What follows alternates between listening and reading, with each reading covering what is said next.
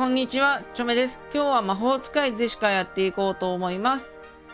無課金で31,584ポイント取ったのでやっていきます。ボス情報はこんな感じ。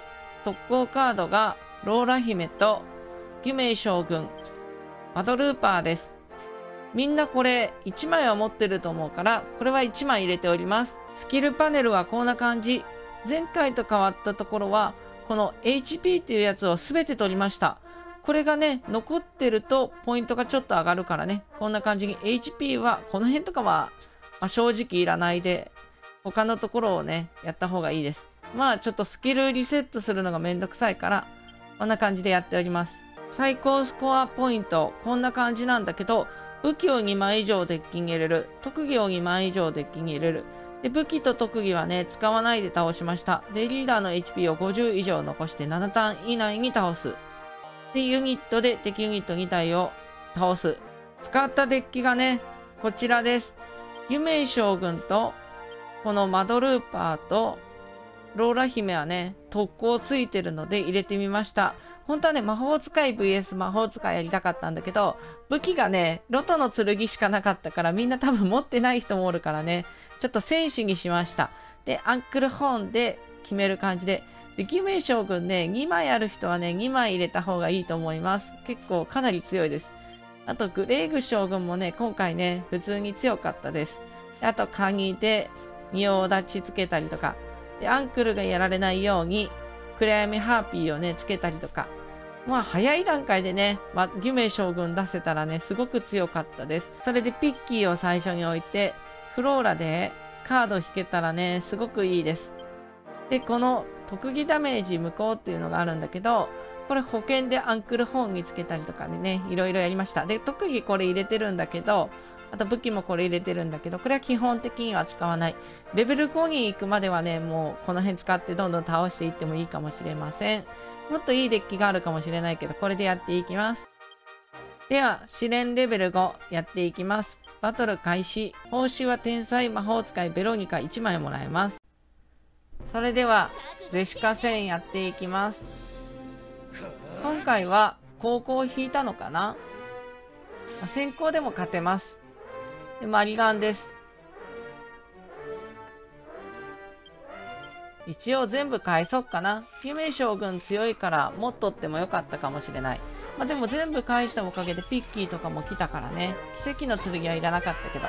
で、高校だと最初ダメージ受けちゃうから、ポイントが下がっちゃうからね。案外先行で、なんかセミモグラとか置いた方がいいかもしれない。あと初期でスライム出すやつ。それスキルパネルで取ってもいいかもしれない。そしたらそのスライムを取ってくれるから自分の HP は減らないからね。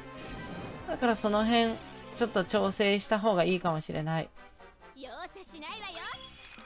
で、氷落とし。これは結構強いですよ、最初は。義明将軍置いてたら全然怖くないけどね。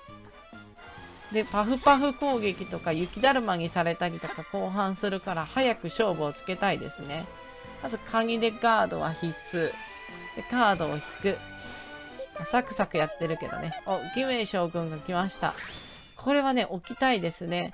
今考えてるのが、もうサマルトリアをね、あの、セットしとくか、ファイルス王子を、もう鍵の後ろに出して、次、のターンのことを考えてるんだけど、まず攻撃して、これはね、もう義明将軍が強いからね、義明将軍を置いたと思います。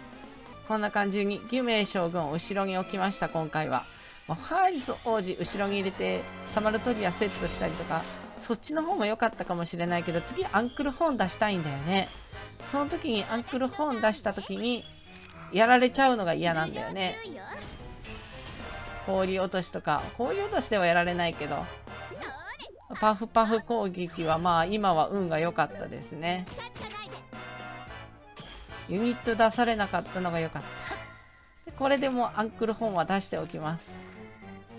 でテンションも上げる。清水出して。ターン終了。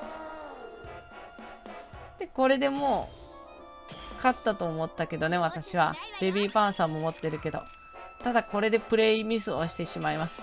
ゲルニック将軍が出てきました。上取られたか。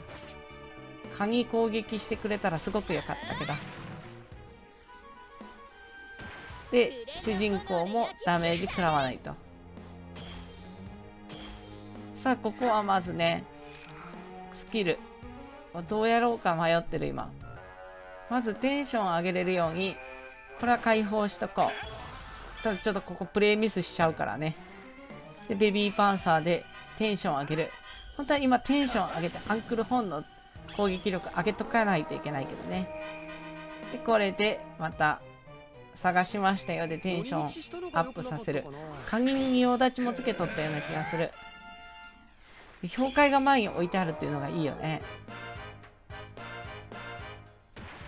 で、まだまだある。で、これで仁王立ちつけて、ハーリス王子を後ろに置いて、ここでね、テンション上げないといけないんだよ。もう上げちゃったと勘違いしてるから、ここはね、プレイミスです、私の。あプレイミスをしても勝てるという。で、これで攻撃しちゃうんだよ、こうやって。後で気づいちゃったんだよな、これ。で、鍵でも攻撃しそうになるし。まあこれはね、取りたいんだよね、次。多分攻撃してきてくれると思うから、鍵で。で、ここで気づいたという。まあ、上げれてよかったね、ここで。まあ、次のターンで決めれるから、どっちでもよかったけど。これでイオとか、なんかいろいろ来ても怖くないという。